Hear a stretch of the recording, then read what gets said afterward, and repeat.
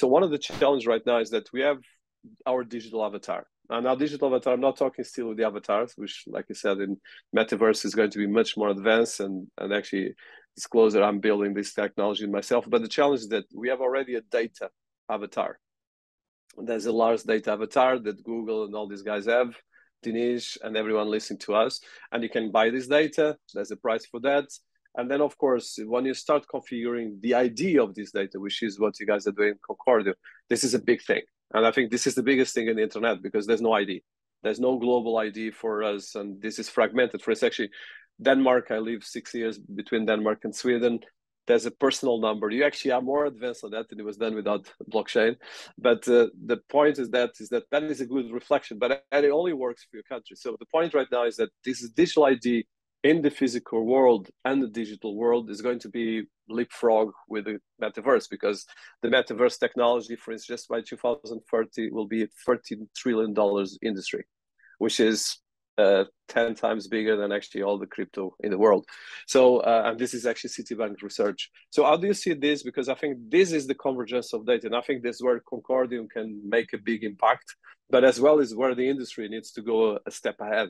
Because it's like you said, it's not just uh, solving the speculation or creating another speculation on Decentraland or Sandbox, but creating real cases utility. And you mentioned utility before, which I think is for me the most important. Yeah, I, would say it. I, I'm a strong believer in something metaverse, right? There's, it's clear that our technology is driving us towards, with some speed, towards a, a place where we can have quite meaningful experiences in a digital world. And if you think that 20, 30, 40 years into the future, I actually think that we'll be spending a very substantial amount of our time in in in, in real real life situations, but in, in the metaverse, right? And they will be very genuine and they may actually give us the opportunity to experience, experience lots of things that we wouldn't be able to, to experience in, in our everyday physical life, if you will. So I'm a big believer, and that can only get ever, ever bigger, I think. It's maybe to the point that in in a hundred years, you know, we may be living on nearly all of our existence there because be awful lot more exciting than walking up and down your local street, right?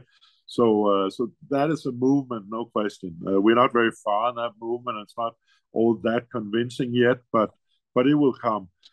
And that means, of course, that shops will want to sell in there. People want to do business. People want to meet other people uh, socially uh, in, in in many ways, right? And and as that becomes more and more, con, you know, consuming of of the time we spend in the real world or the traditional physical world. There's nothing unreal as such about a, a virtual universe. In my view, is also real, but but you know what I mean, right? Uh, there, of course, uh, in the in the in the physical world, if I meet you on the street and I know how you look, you know, I can be pretty sure, unless you have a one double, you know, that it is actually you, right? Whereas uh, in a metaverse, I could have somebody with a perfect avatar of you, and I would uh, probably be sure it was you, but it could be somebody entirely different, right? And and for that, of course, you need to to have some possibility of identification, right? You have to have this option to be able to prove to each other who who we are. It could also be that you want to look like a dinosaur and I want to look like an elephant, but but but we could still prove that we were Dinis and Lars, right? and and the more important, the more the bigger part of our economy that becomes, uh, the more important that becomes, right? And, and, the more of our lives that are lived in these environments, which I think for people that are very young today will be a very substantial part of their lives. Uh, the more important all these things are. The other thing that's very important is, uh, you know, the assets in there. I mean, can you really prove that there's only one of these and one of these or a hundred of these or whatever the number is? Uh, today, no. I mean, if you go into a game, you know, you can buy all this extra stuff that they make lots of money on, but can you be 100% sure that they don't just print another thousand or or that there are more in existence than than than, uh, than you think, right? Uh, there, there's actually quite a bit of pushback from the big gaming publishers because they they have this economy today and they don't see any particular benefit in in a blockchain coming in and messing with with a nice economy that they have. but the gamers themselves should be increasingly demanding that. They're not at the moment, which I I fully understand the publishers, but I don't really understand the gamers because they some of these guys are the same guys that say, "Oh, we're so reliant on single points of failures in banks." They say, "Well, you're dependent on a single point of failure in a game, right?" Uh, uh, so I would have thought that they have a strong interest in the economy becoming more independent, more safe, uh, more secure from that particular from that particular single point of failure that they're now interacting with, right? So in short, I think the metaverse is big, whatever it is, because there's going to be many, many attempts at building this, and maybe in a far future, something something merging around a very large you know, uh, metaverse, but there'll still be lots of side pockets without question.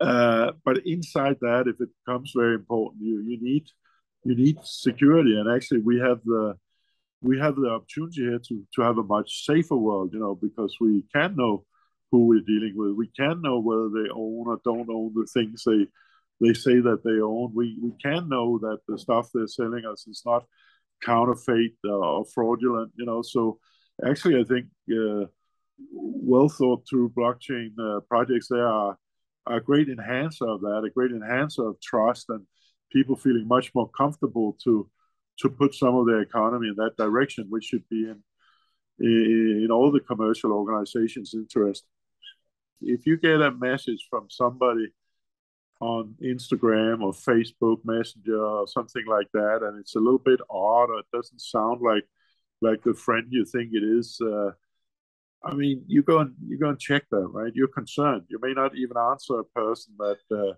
that you don't know, right? Uh, because you have no way of verifying their their credentials, right? Uh, frankly, it happens to me many times a year somebody makes a fake profile on Instagram or they make a fake profile on Facebook and they take a little bit of my CV and a picture of me and repost my last 10 posts. And then they start sending messages out to my friends, uh, my social media friends, my, my people that I interact with and saying, you know, I have a special deal for you. If you send me 10 bucks, I'll send you a Bitcoin or something like that, right? So we don't have that trust today. And, and I certainly, if I see something from somebody where the name is clearly fake and they got zero followers and they were initiated yesterday, that's like a danger signal, right? Uh, so uh, we we can solve all these problems. I mean, we could solve them today, but I think in a, in, one thing is who writes you on Instagram or who writes you on a Facebook Messenger, right? But uh, but if you're spending a lot of your economy and a lot of your time in a metaverse, or for that matter, in a, one of the social media, you know, we, we, we can't really do that comfortably because we, we're so unsure about what we're dealing with, right? And we're unsure if people have the rights of what they're trying to flock. We're unsure if they are who they claim to be, etc. Right? Uh, so I, I, think we have a lot to offer this industry from the blockchain space to make everybody more comfortable interacting and hence being more active users and, and of higher economic value to these platforms, right? I completely agree, and it's really a key element. I think in the end of the day, it's about trust. Anything that is money or value is about trust, but I think it's that the new directions will be depending on what we do now.